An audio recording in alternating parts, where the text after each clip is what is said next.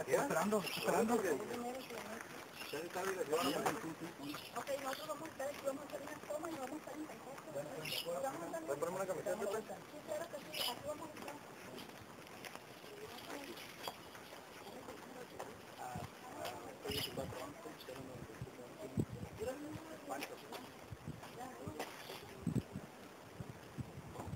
Nuevamente el poder económico se volca en contra de las familias humildes de Los Cabos. Eduardo Sánchez Navarro contrató un grupo de delincuentes para agredir a la familia Aripes y despojarlas de su predio.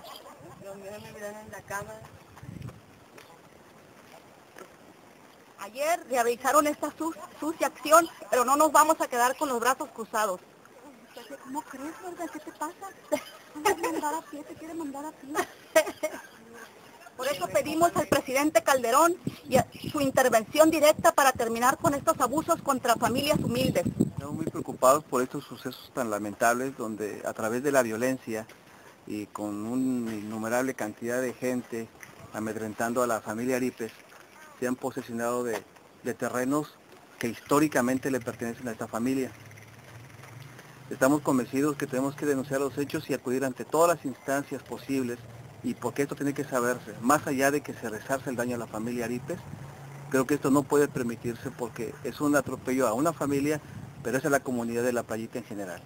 Eh, los integrantes, queremos entender, de, de Grupo Cuestro, son los que han ordenado este, este atropello y, y esto lo tiene que saber el procurador del Estado, lo tiene que saber el gobernador del Estado y lo tiene que saber toda la gente que esté interesada en resolver esta situación.